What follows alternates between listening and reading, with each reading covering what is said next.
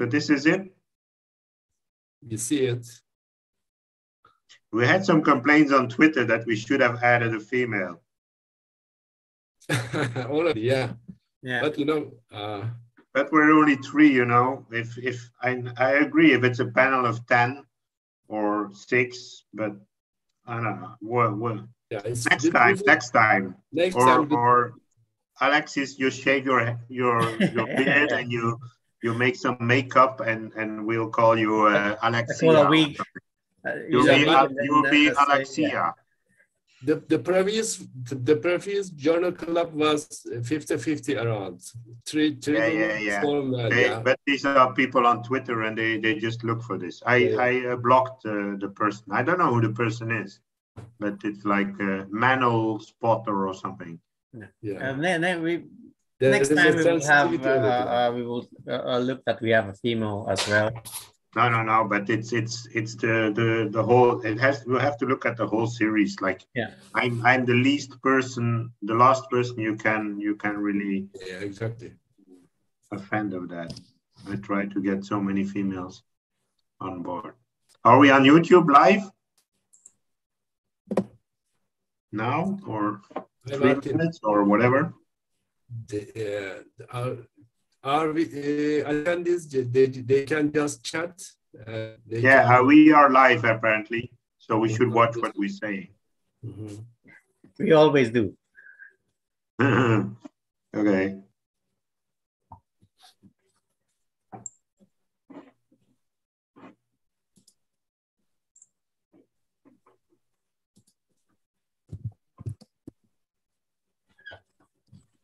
Okay.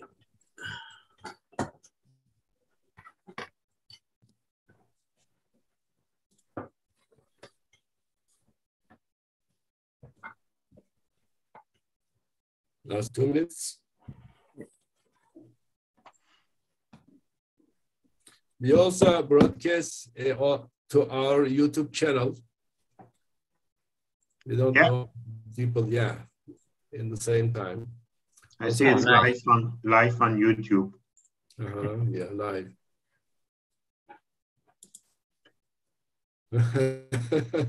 Spin tonight? I don't think so. It's popular Yes. Nowadays. I I forgot Ah, what's exactly. Oh, spin. oh, how can I say? Bias. You know, bias. Yeah, yeah, yeah, yeah. They they they biased Favor- me. I wrote that. sp- I saw that paper. I want to see the paper if I'm if I'm one of the references and how I score. Because one of the things that when I publish something, I really really like to to have be very critical at what I put in my conclusions. Like as the that's something that I've learned during the years. Like really don't emphasize too much on your one p value that you found, but just uh, focus on your limitations, whatever, and what you found, and don't make don't make recommendations from indi- individual studies. That's also important. Anyway, Anyway, it's time. Uh, I, I want to open the session. I, I, I want to start with my uh, intro speech. Good evening, everyone. Welcome to the EHS Journal Club tonight. Alexios Theodorou and I will uh, manage the session. This month's article is Robotic Utility for Surgical Treatment of Hernias, Robust Hernia Project. The article was published in Chirurgia Española, Española. The leading article of the article, uh, leading uh, author of the article, uh, our EHS president, Filip Muysoms, is with us. His contribution to the abdominal wall surgery is massive. I would like to share my intro slide and I, I'd like to tell something about our uh, relation and uh, robotic surgery.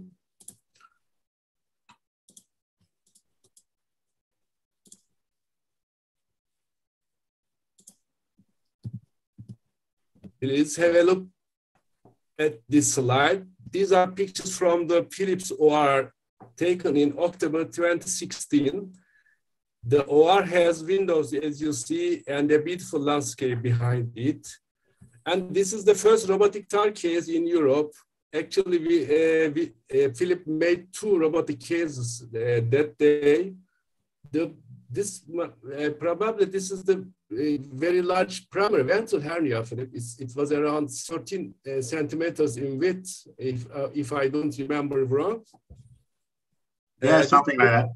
Yeah, this is the first robotic TAR case in Europe our friend, robotic surgeon Conrad Ballecer, came from the States and I, I came from the Turkey and Conrad uh, made some proctoring and I observed the session. Uh, Filip made two robot TARs uh, that day and then he cooked us and the, it was it was very delicious and the wine's brand name was Stoppa. It was very uh, fantastic hernia trip actually, and remembering and embracing the past as joyful, actually excellent. Uh, for the session, Filip Muysoms will make a brief presentation of the article and then we will ask the questions. Uh, uh I would like to remind you again, this meeting also be uh, broadcasted live on our YouTube channel. Yes, Filip, it's your turn to speak. Okay, thank you very much for the introduction. Actually, uh, one of the funny things is that that Hakan was there because he is on uh, in social media. Actually, I, I discussed uh, the start of the robotic program in our clinic with uh, Conrad Ballecer on the International Hernia collaboration. Hakan said, oh, I want to be there. I said, okay, just come. And so he booked his flight and he came to uh, to join us, which was, uh, I think, the first time that I, I came in contact with Hakan, who is now, of course, uh, our leading person for uh, uh social media in the European Hernia Society, doing such a great job on it. Um, so I'd like to share my screen. By now, I hope that I've learned that. And if it's not, just tell me. Uh, okay, so robotic utility, I hope you see my screen. If not, tell me. Robotic utility for surgical treatment of hernias, the Robust Hernia Project. I know this is a manual, so we have three male surgeons there, but uh, if you follow the series, you know that many female surgeons also are invited in this uh, journal club, so uh, please Filip, don't be offended by that. Anyway. It's not full screen, Filip. Is it not full screen? Yeah, I, I see the all slides. You don't see slides? Uh, I see the all slides, uh, not the single one. Okay. You need to, to start the presentation for uh, to, to share the presentation. We should know by now how it works, no? Just see the presentation, not the screen. Yeah, it'll come. No, no problem after so many times. Is that okay? Not, it's not presentation mode. Yeah, it is. In my, we just tested it. Was it better when we tested it? No, we, How you see, Alex? No, um, you you have to choose um, either the entire uh, uh, uh, the the presentation mode exactly there. Yeah, that's what I'm doing. But, uh, you see it? It's not no, but because you have uh, shared the PowerPoint uh, program, not the presentation. Okay. Uh, perhaps you can try again. Yeah, yeah. We'll get there. No problem. I close it. Uh, what am I sharing now? Nothing?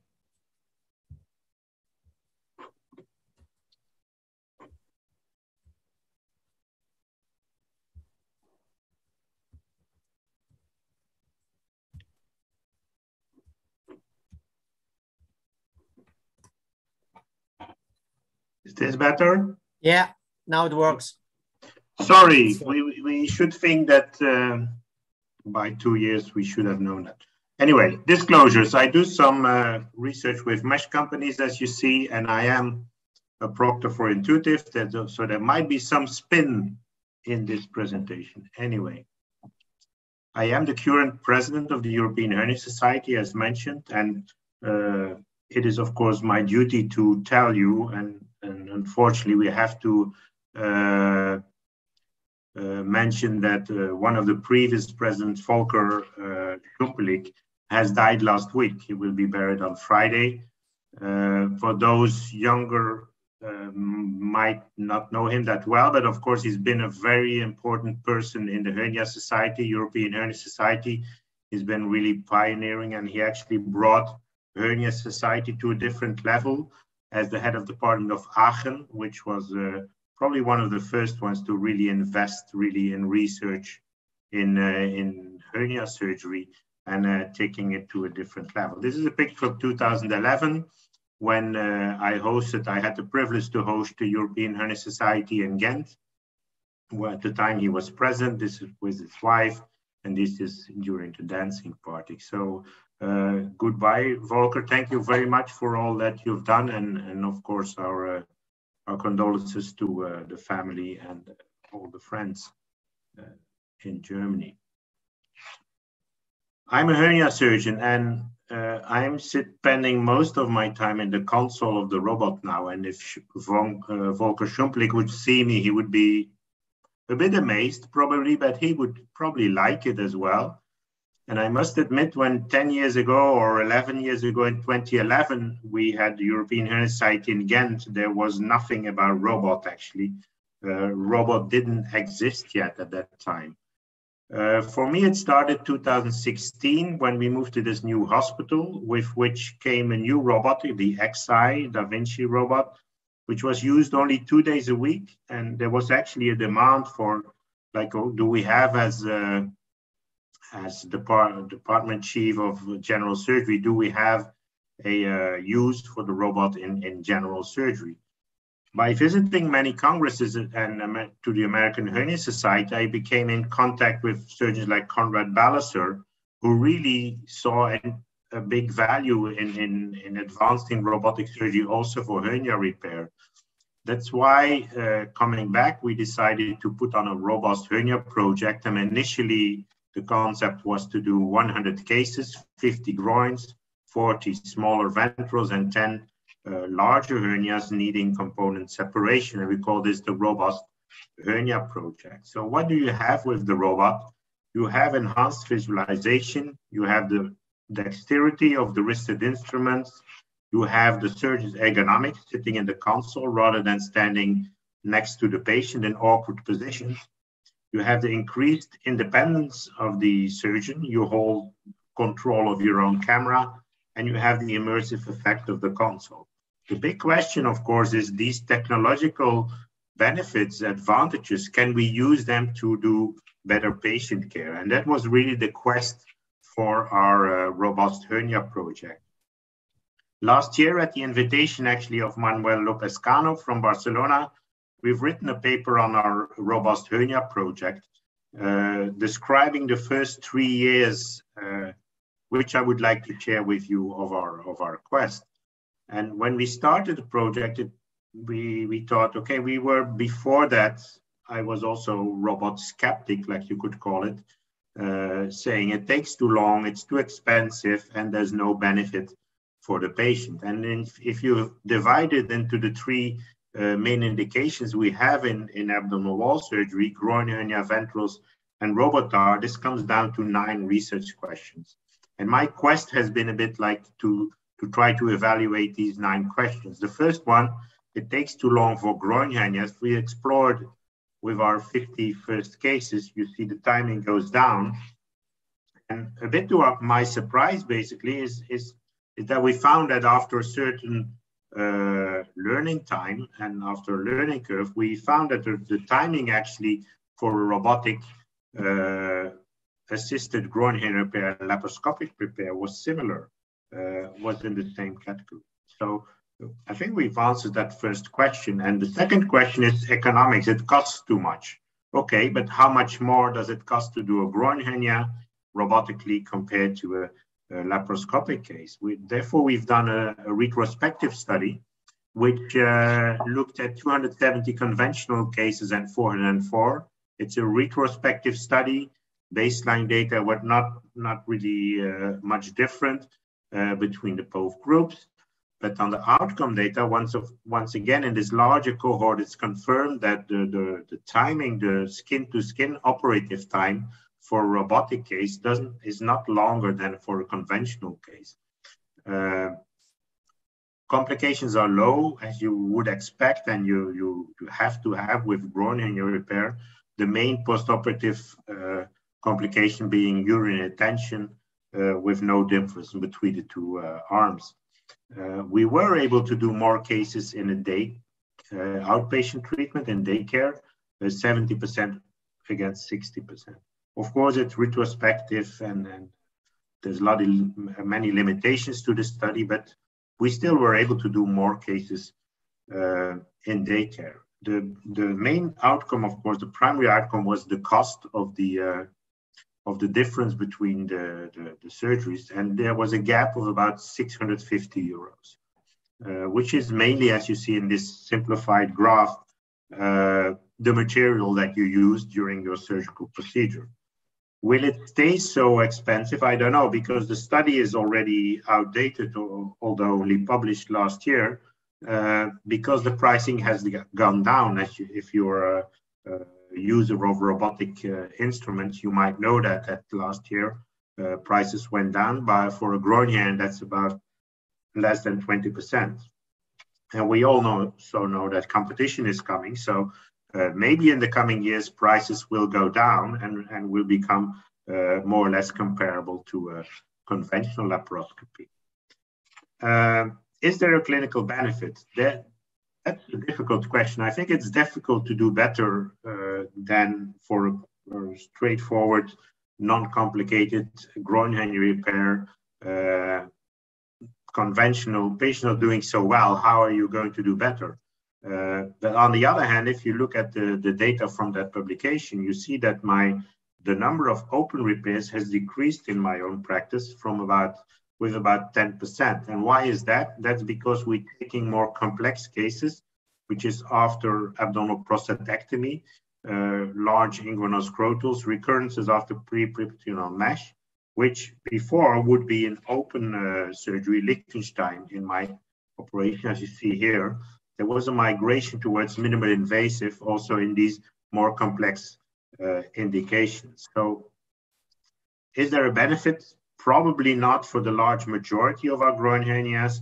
Is it too expensive? Yes, probably for the large majority, but there might be a niche uh, in the groin hernia repair uh, patients indications where we might see a benefit. Ventral hernias, as you see here in the, the, the, graphs from the publication that we're discussing today, you see decline in the open uh, surgery for the primary ventral hernias from uh, more than more than half to uh, about 10%. Um, what is that? That's a shift away from these mesh devices, of which I've used a lot uh, during several years, but uh, it takes us a bit too long probably to explain why we migrated, but on similar thing you see with the incisional hernia. See actually the open repairs of incisional hernias uh, almost vanishing from, from my own practice to becoming around 10%. Uh, this is fading out from the IPOM repair, uh, where we use intraperitoneal mesh. One of the reasons being that we have an increased risk of morbidity when we put an intraperitoneal mesh implant intraperitoneal. Uh, and it might work well for a lot of patients, maybe 90, 95%, but there are still some, uh, several patients that have severe adhesions, although you use an anti-adhesive mesh.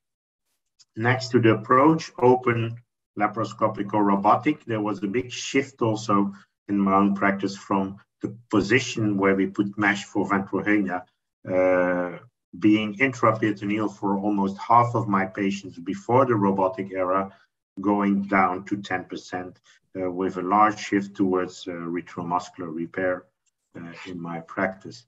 You can do preperitoneal repair. That's another option. Uh, another option we uh, described and we developed is the TARUP approach, which is a transabdominal retromuscular approach, which was previously described laparoscopically, but which we now had adopted to uh, robotic surgery. Also there we saw a decline in the timing and I think by now uh, could say it takes too long. It's about one hour for an umbilical hernia 15 by 15 mesh. It obviously is longer than such a small patch, but it's quite a different operation and in my opinion, a more durable operation. Is it too expensive? If you compare to IPOM repair, you gain on the mesh, you gain on fixation. So there actually it evils out a little bit. Is there a clinical benefit? I do think that that uh, that not having an intraperitoneal mesh, uh, not putting penetrating fixation is a benefit for the patients. We are working on filling out all these boxes. We are working on a study on the, the TARUP with one year, one month follow-up. Uh, another important evolution, I think, is the eTEP, which can also be done robotically, either from lateral or suprapubic docking approach. Uh, but of course, timing is too short to explain all that. Uh, coming to the last one, the Robotar, which is about the patients that need component separation to close their uh, their midline before you place a mesh, because we went away from the bridging towards the augmentation, and actually we see a shift there from this open approach, large open incisions towards minimal invasive repair with large meshes with actually a big benefit for the patient. I think this is really the niche uh, of indications where the, the, the value of the robot is, is, is, is really outstanding uh, for the patients. It has been shown by some American studies uh, who were, of course, a bit in front of us with gathering data. This is unpublished data. This is now being submitted for publication from uh, our center and the Center of Terroratio in Finland. Seeing the same thing, comparing about uh, 100, what is it, 160 patients. Uh, retrospective, so it has a lot of limitations, although both groups were quite comparable. The width and the length of the hernia was bigger in the open group, so there might be some selection bias there. It takes a bit longer. Uh, some other descriptions, not enough time to go into detail, but the outcome is really what similar to what we found in these American publications, a decrease of uh, length of hospital stay by at least 50% from about seven to 3.5 days. Overall complications are less, uh, uh, actually performing a better surgery, less post-operative hospital stay. This is the main thing of this study. This has to be followed, of course, by by more unbiased, more studies with less limitations, being a prospective randomized study, which we're trying to set up uh, in Europe at the moment. It takes time to learn how to do the robotic platform, but uh, what you're looking for is really these patients walking home two days after surgery, after placing a, a mesh which is about 45 by 40, and actually this patient also had a peristomal hernia. So timing, it takes time in the beginning, it goes down as well. There's also a learning curve effect. I think it will take about 20 to 25 cases before you come comfortable with the timing of a robotar. Um, and also your anesthetist, your OR staff, uh, and for many surgeons like me, this is like two years, you know. So it takes time to invest, but I think that uh, uh, my task for the coming years is to fill out all these boxes. I'm, I'm, actually working on that, trying to find out also the, the cost for ventral, for Robotar, uh, also the timing of the Robotar. We have to uh, create evidence for all these things. Uh, so basically, at this moment, my my my takeaway from from all this grid at this moment is uh, is is green for most of the ventral and the Robotar, still a bit red for the the groin and repairs. So thank you. I'm happy to take all your question and apologize for the false start of the presentation. Yeah, it's it's very nice presentation. Actually, uh, you answered some of our questions uh, because uh, it's related to the robotic surgery, but uh, we, we, want to discuss much and uh, also we expect contributions from the audience and the questions. They can uh, chat us and we, we will direct the questions to Filip.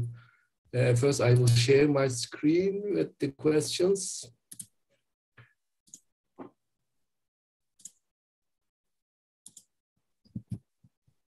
So, uh, Alex, uh, I will hand over the uh, speech to you and you can continue.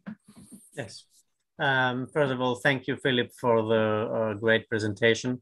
And uh, uh, like always, with some still unpublished data that we all expect and see. It's always nice to see that you're still working on the, the, the research because uh, it is very important not only to think that something is good or bad, but also to be able to uh, uh, give the evidence. Um, so um, before we did uh, some kind of warm-up uh, polls on our Twitter uh, audience about robotic hernia surgery. For example, we asked if they do it. 12% said yes. the other said no 24 because it's too expensive, and um, 24 because they saw no clinical benefit. Of course, this doesn't, uh, we didn't uh, uh, spoke of its uh, ventral uh, groin or uh, more complex hernias, but we do see the um, concerns people have over there. then um, we asked another question. Hakan, can you change to the other one?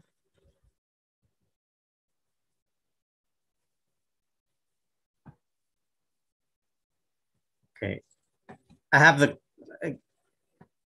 okay, yeah. If they do it, uh, like we said, okay, I will do the rest. I have them there. Um, is it, uh, does it take longer than uh, laparoscopic? The majority said yes um, 48%, almost one in two. Um, the um, we asked if the robotic platform does the extraperitoneal access easier. Uh, uh, um, and then uh, people said yes, uh, um, over half, exactly and uh, we would uh, uh, like you you asked you you answered that question in your uh, uh, um, in your presentation uh, um, as well. is it is it correct that you think that the robotic eases the extraperitoneal placement of mesh? Yeah, I, I think so. I basically today was a hard day for me because I had five cases and the urologist, uh, no, the gynecologist, uh, they, they booked two cases and they went over time. And uh, so I basically had to do two ventral hernias uh, laparoscopic with straight sticks. And uh, there definitely is a big difference, I can tell you. Uh, it's there, there is a big difference in the, certainly for ventral hernia repair, when you're going to do the dissection on the anterior abdominal wall, whether this being preperitoneal or retromuscular. You're going to close the midline, closing a defect. Then you will close a flap. Uh, the, the, the, there is a big added value of the wristed instruments uh, for sure. That that's undeniable. That is also make. Uh, I assume it's uh, the ergonomical uh, aspect of it. It's something that is not always uh, shown in the studies, but it's for the individual surgeon, of course, very important. Yeah, it's it's it's very difficult to to do the suturing on the anterior abdominal wall being next to the patient. Uh, uh, it is, and also the tackering, as you know, when you when you want to tacker, certainly. Uh, I don't do a lot of IPOM anymore, but you want to tacker the mesh towards the side that becomes towards you. You're almost actually you're kneeling down to to be able to tacker that. Uh, that's for sure. The big question, of course, is is it better for the patient? And that's what we. Uh, I'm, I'm, it's easier for the surgeon, and I think if you suture a defect or a midline laparoscopically with straight sticks compared to or or eTEP with straight sticks compared to robotically, your suture will be less precise, will always be less like monotonous, and you want the suture to be a bit boring, to be always the same. Um, and certainly that's that's different with the robotic platform compared to with straight six because you you really handle the needle much more more more proficiently. Uh, but are we doing better surgery? That's the question. Are the patients happier? Uh, do they have a better outcome? That's what we we strive for. Okay, and then uh, next question is um, is about the future of, uh, uh, um, of robotic versus laparoscopy. If robotic hernia uh, will replace laparoscopy in the future, that is certainly the opinion of the majority of our uh, audience. Uh, uh, two and three think that robotics will replace laparoscopy. do you feel that way?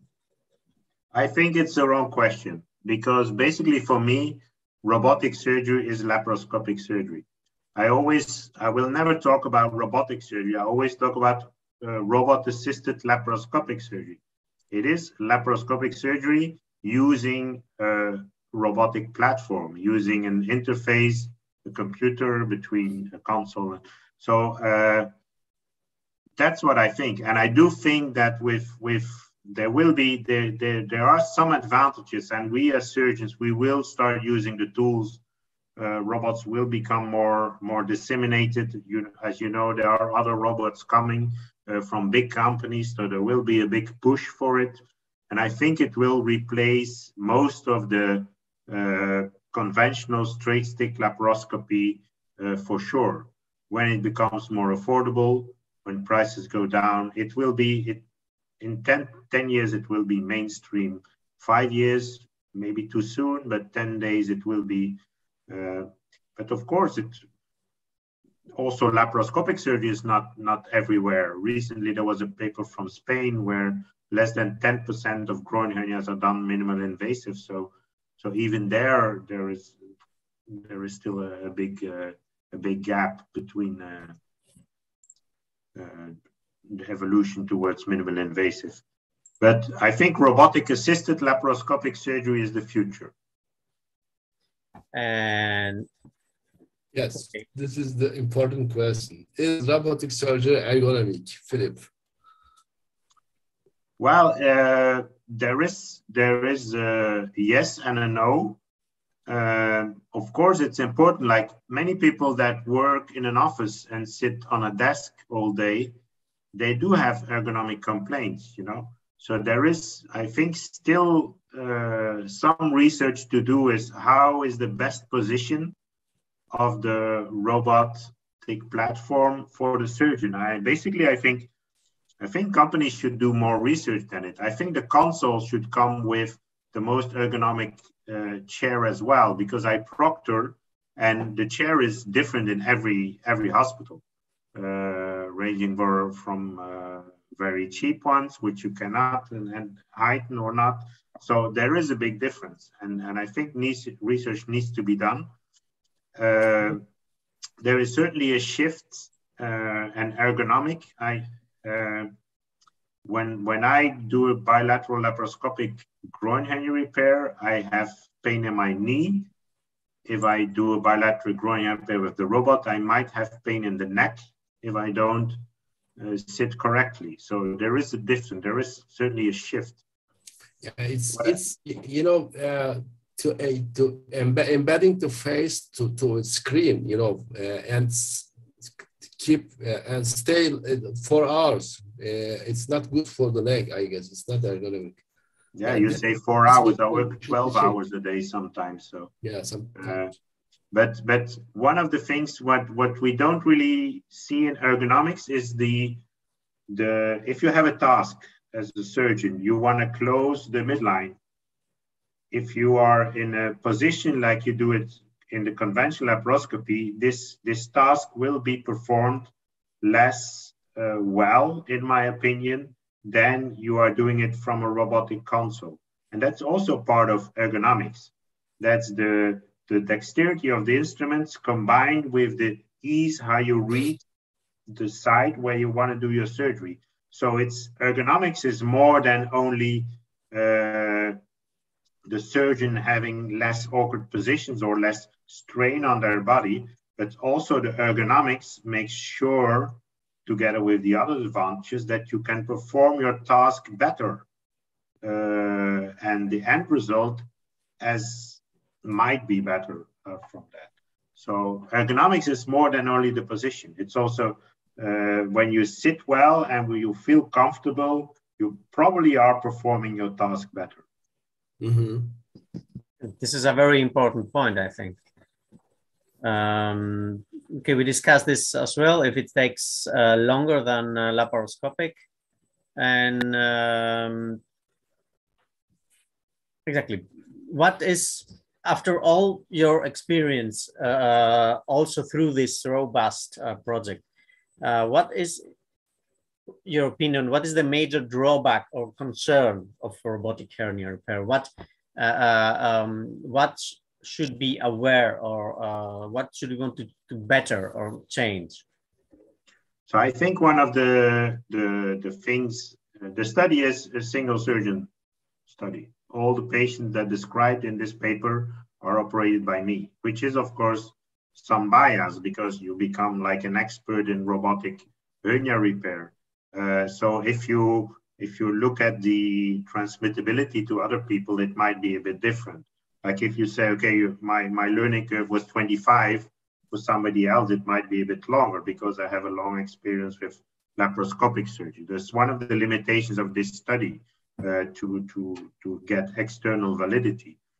Uh, the robotic hernia repair has a robotic platform for hernia repair. One of the drawbacks, of course, is the cost. You need a robot to be able to do it. Uh, and second is the trajectory to how to become proficient and how to introduce this uh, new tool in your practice safely for the patient. And there's there's a lot of work uh, that has to be done. And one of the things, even if you're an accomplished surgeon, that you have to realize is that you have to stand back and learn to work with this new platform uh, because you are treating patients and there are potentially some complications that you can have. Uh, one of the things that I do think about the robotic platform that uh, as you if you follow the, the Facebook group International Hernia Collaboration, you see people doing eTEP TAR, so like uh, complex uh, abdominal wall uh, surgery using straight stick instruments like uh, Victor Radu, Igor Belyansky, Vlad Burdakov. Uh, but I do think that if you do these techniques with the robotic platform, there will be a larger cohort of surgeons being able to do that. Uh, I think that it, it, it, it's not to say that it, you need less skills, but with the added advantages of the robotic platform, the dexterity of the instruments, uh, the control of your camera. I do think that more surgeons will be able to do this uh, sometimes difficult surgery uh, the, for the benefit of the patients compared to laparoscopic, which Salvador Morales does, uh, or eTEP, which uh, Victor Radu does with straight sticks. And um, recently there are uh, in the market uh, laparoscopic instruments that are wristed. Uh, yeah. Uh, um,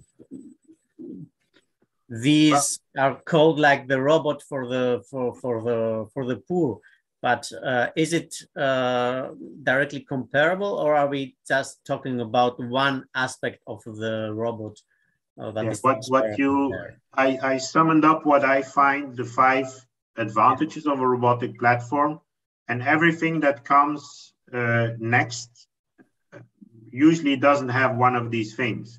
Yeah. Uh, like the surgeon ergonomics will not be there if you use these. Might even be a bit worse if you use these uh, these these these laparoscopic uh, tools. Uh, you don't have the enhanced visualization. The question is how much of your advantages compared to the the standard you could call it is the Da Vinci robot compared to the standard that you will lose and we'll still be able to get the benefit from a robotic platform? That's the question. Uh, all the robots will be 3D, but like the immersive effect of the console, which is the fifth one, which is something that I do like, and, and many robotic surgeons do like, uh, you don't have with any, any of the other systems that are coming. How much will this make a difference? Uh, you have robots on the market with wristed instrument, but less degrees of, of freedom. Like instead of uh, uh, eight, you have only six or four degrees of freedom. Um, and with this laparoscopic instruments, of course, you have the you have the, uh, the ergonomics, which is not there probably. Uh, I have never used them, so I, am speaking only on a, a, hypothetical case. Yeah. So the, there are some questions from the audience. Uh, Maarten Simons says, uh, skin to skin is not fair. Total time and number of repairs in one day matters. And Andrew de Beaux uh, adds, you mentioned no different skin to skin time in robot inguinal. What was patient arrival to the anesthetic room to leave for recovery time? This is the time that determine, determines how many cases in a day. I'm trying to see all these questions. Uh. Well, there's a question I often get, skin to skin time and what with the docking of the robot? The docking of the robot is within the skin to skin time, you know? So you make your skin incision, then you dock. There might be some time, some for a bit more preparation time, which is uh, putting the sleeves around the, the robotic arms. But if you have a high turnover, and I, and and I have never mentioned, like Andrew asked, what is the time in the in the recovery room, arriving to the to the to the anesthetic room.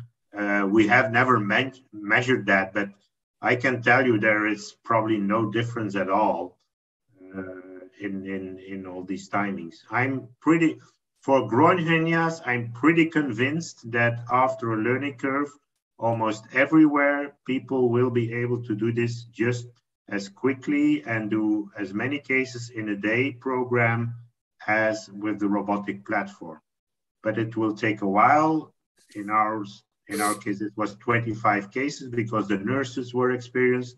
If your nursing staff is completely new, this might be 50 cases, or if you have a surgeon that never done a laparoscopic groin repair, uh, not that many laparoscopic groin but it will take longer, things like that. So there is there is there is uh, so many this and that, but I am convinced that that for the efficacy of your hospital for groin hernia, this is not this is not an issue.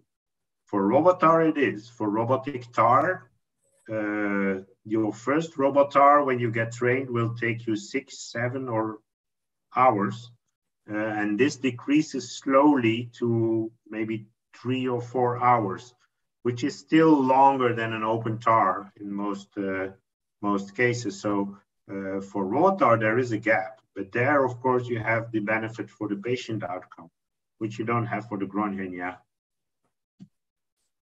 Yeah, it's. I don't know whether that answered the questions. Yeah, another question from Cesare Stabilini. He, he asked that, what's your rehabilitation schedule and post-operative regimen for this complex case, I guess? So uh, rehabilitation, one of the things that that I do some, if we're talking about Botox, things like that, I I I do some Botox, but not very frequently. I became convinced that certainly if your patient is obese and you want to treat a big, a wide hernia that needs uh, might need some form of component separation, having them to lose weight is a very efficient way to, to get more laxity and more possibility to advance your, your flaps. Um, but of course, that's not possible in every case. So I do some Botox. I've never done a pre-peritoneum, uh, one of these uh, pneumoperitoneums. I have no experience with that, so I cannot comment on that. Um, after the surgery, uh, I want patients to mobilize as quickly as possible, uh, and uh, they I, they refrain from heavy weightlifting during about three weeks. That's the only thing that I that I give them. Um, one of the things that, and you saw the last picture of the lady walking home uh, after a ro robotic TAR. Um, why are they doing so well? There are two things. They have remarkably low pain levels postoperatively after a minimal invasive robotic component separation, and they don't have ileus. They eat, they tolerate food and drink almost immediately. And these are the two drivers, I think, for a rapid mobilization, a rapid and a rapid uh, return uh, home. Um, it's I have a personal question. Uh, what do you expect or want to uh, future improvements from the robotic platforms? What, what things that you you, you should uh, they should uh, improve and develop to the uh, add uh, to the robotic platform? What technologies? Do you have any comments? So there there are some things that, that there will be of course of course, for hernia, it's not that important. What I've been waiting for a long time, instead of putting a ruler inside the patient and measure, is I would like to have a robot that where I say I make a point, I say the next point, and the robot tells me this is 4.65 uh, centimeters apart. So to be able to measure, uh, of course, for other fields of surgery like liver surgery, colorectal, the, the mapping in the image of, of important information uh, will be something that will become important uh, probably. Uh, the Xi system is over designed for hernia surgery. Most of the times there's a fourth arm that you're not going to use that is hanging there uh, and in your way. So I think in the future, probably we'll see robots that are more designed for a specific task, like maybe in your hospital, like in ours, we now have a robot for orthopedics where the, this robot, the only thing it can do is a knee uh, surgery. So that's, that's what it does. So we might come up with robotic systems that are a bit less expensive and, and, and less well designed than the Xi robot just to perform, uh, let's say, groin hernia repair, a robotic uh, system just for groin hernia. For example, I can imagine this happening. The single incision is something that is might come up. Uh, there is an SP system now developed by by Intuitive. I don't know whether for hernia repair this will become an issue or whether it will be like the SILS that came and then went. Uh, the SILS surgery for laparoscopy. Uh, many people were quite quite uh, uh, favorable of it, and then it went away slowly. I don't really know why. Um, so maybe that's the same with the SP system. Of course, that's a big cost. Uh, and I do think that's typically a case where you have a robot that might be very handy in a specific situation. So I think the SP in the US, it's on the market now for the, the maxillofacial surgery, is a very, very good tool. Uh, they're very happy with it and, and, and will probably in that field become state of the art in a few years. Uh, also the transanal dissection, the TAT-TME, which I don't do. Uh, maybe something like an SP system, a single port system uh, with the, the, the, instruments coming out. Whether for hernia, I don't know. I've, uh, you might do a, a Rives-Stoppa repair with from a single port suprapubic, things like that. That might be the future, but I don't know. But your hospital will never buy a robot just for hernia surgery. So you have always have, probably uh, they might try to uh, they might try to uh, remove two, two, two, two middle uh, arms from the tower and put the uh, SP module uh, single port. You know, single port has four arms and two side arms, six arms. They they might try. yeah, yeah, six and, robotic. And also, also several of the new robots that are coming are mod modular. They have like uh, they have one one one thing you roll in for one arm. So if you need three arms, you only roll in the three arms. You don't roll in a whole system with four arms. Whether that will be, it makes it more versatile. And and we as surgeons, it's our task to find out what what will be. Uh, what, what will will benefit ourselves and our patients um, we have an additional uh, um, an add-on question from Barbora East. uh, about this is, uh, would you appreciate a form of CT combined vision, uh, similar to what the neurosurgeons use, like a navigation system able to say where the structures are uh, um, in hernia surgery? Uh, for hernia surgery, that might, I think only for the very complex cases, like if you if you want to do a, a TAR, a component separation, whether you would be able to see where the different uh, layers are. Uh, on the other hand, if it's uh, it's a hernia patients with a wide hernia, this is all so much disrupted that uh, for hernia surgery, I don't really at this moment see a very big a big value for it. I might be wrong, I never know, but CT combined vision? No, I don't think so. What could be what could be uh, handsome is like for peristomal hernias, which I learned now from international hernia collaboration. I haven't done yet. Is in an ileal conduit, put some ICG in it, so you recognize the loop immediately. And I've been like in for many years trying to identify the loop of the ileal conduit and just by putting some ICG in the loop and then put on your Firefly, you immediately see this is the loop. Uh, so this is fantastic, and this will this will definitely make. These are the small steps that you can you can have. But the C, CT combined vision for hernia, not for liver surgery. That's a completely different thing. I think for a, a liver surgeon that wants to remove a nodule somewhere in that uh, in that liver or, or for colon surgery or pancreatic surgery, for sure. But for hernia, I'm I'm not sure. I'm doubting. Um, we have another question from the chat from Ioannis uh, um, It's about um, the differences uh, in hospital stay between a lap uh, eTEP and a robotic assisted one. Um, he's doing lap eTEPs and people stay from 24 to 68 hours. Uh, uh, he says, what is your experience in this? So I have, um, I have very little experience with straight stick uh, eTEP, uh, basically none.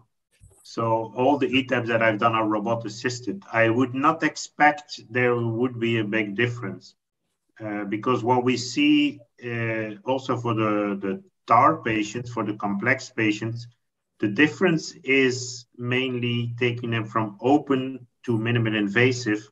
And the difference between different minimal invasive techniques become uh, become small. Certainly, if you're going to do the same dissection, you place the same mesh in the same retromuscular plane.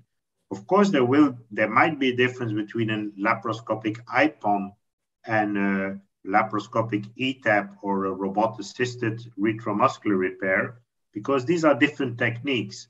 And I, I do think that their IPOM repairs usually don't go home the same day in my practice because of pain, while most of the extraperitoneal repairs robotically or laparoscopically are able to go home the same day.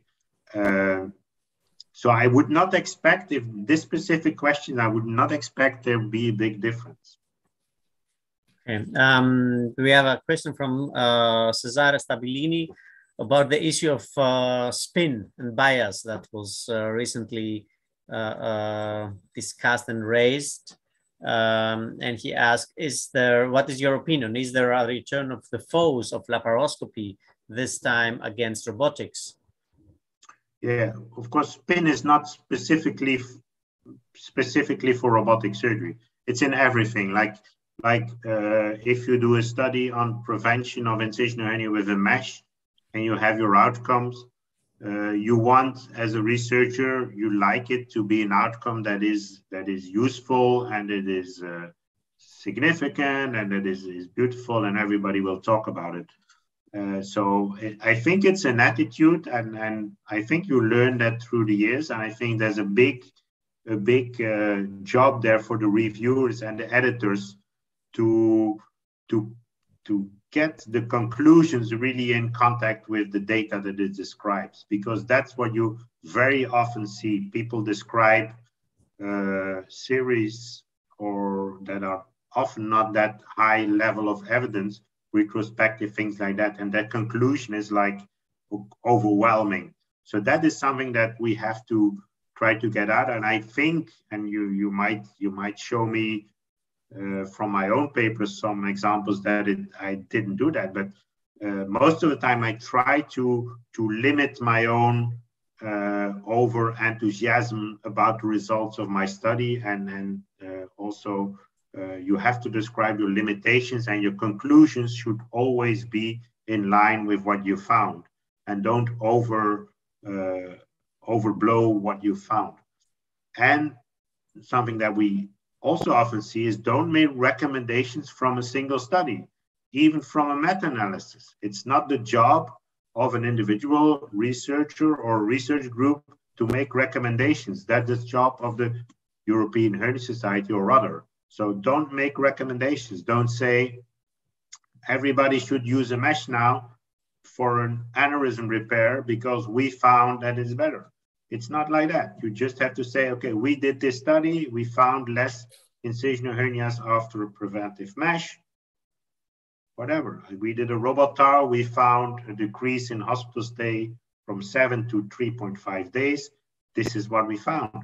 We're not going to recommend that everybody should start doing robotic TAR. That's not the task of that individual study. That's the task of a guidelines group. Very nice. And you know, um, uh, Alex, uh, may I ask a question? Yeah. Filip, you know, you, you have experience with the other robotic platforms that Manuel Lopez Cole asked me, what do you think of new robotic platforms? Are all at the end it the same for hernia surgery? No. Is any difference? No. Uh, I, I have some experience with the CMR robot, and I can tell you the the uh, what I always try to say: a CMR robot that is now marketed is the first uh, the first generation of that robot, while the Da Vinci robot is a fourth. So they've gone through a lot of changes, and and uh, a lot of depends on the quality of instruments, things like that. So are all the robotic platforms the same? No, I think that all the ones that I've seen, they are always a bit different from, well, you can turn it how you want. The Da Vinci is the standard, which if you compare the other, the other things that are coming. Um, with the others, I have no clinical experience. I've just seen pictures like you have on congresses and things like that. But there will be promising platforms for sure.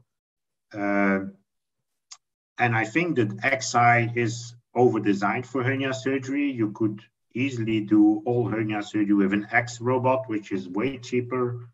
Uh, so you might also do hernia surgery with a less expensive robot with less less uh, fancy instruments. But the question is, how much can you decrease all these things and still be uh, at the same level of benefit that you have? And Andrew de Beaux asks that you talk about robot assistant. Any thoughts on the true robotic operations replacing us as surgeons, minimal human input? In yeah, I think it, it, it will be possible for some tasks because indeed, uh, at this moment, the robots, they are not, they don't really qualify as robots. They don't do independent uh, tasks. There's, it's always uh, uh, master controller situation, uh, a controller and, and, and the device situation. So you, you will always have, have uh, this, but I think there might be, and hernia surgery might be one of those where, for example, you're going to put a mesh, and if you want to suture the mesh, you will uh, tell the robot suture the mesh in some way, suture the mesh half a centimeters from the edge, with so much steps in between with this suture and the robot could do that and that they could do that autonomously. Whether we will see a robot doing uh, a groin repair, for example, completely autonomous, I think it's possible because we couldn't even expect what we are doing now when we go 10 years back. Um, so whether you could say, okay, we have a groin hernia, we have some imaging or not, or we just rely and you put your trocars and then we say the robot do a groin repair uh, because of artificial intelligence, they might get data from maybe 5,000 different operations and say, okay, this is a different area, and then start doing the surgery. And maybe at a certain point, ask the surgeon, is this still okay? Can I do it? And of course, you need a red button to, to stop the robot, certainly at the beginning. Uh, I think it's, it's, it will come, uh, but I'm not sure. The whole idea is that I will operate my own groin hernia uh, when it becomes symptomatic with my own input. So input from 3,000 of my own operations operate my own hernia with my own input by a robot. That would be nice. Yeah, it's possible with the uh, uh, artificial intelligence, probably. Yeah. I think the first thing, with, groin hernia is a bit complex because you have all the vessels, the nerves.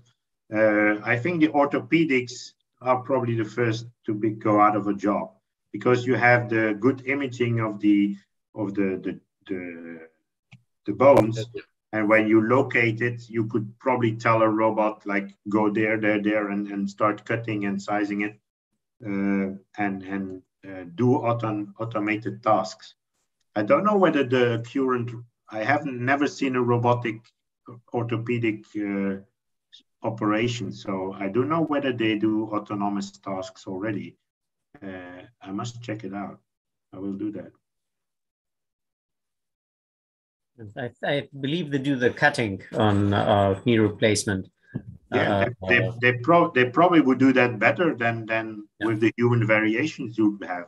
So whether a groin hernia dissection uh, might be done better in the future uh, and less less less with less variation uh, by a robot might be true. I don't know. Maybe.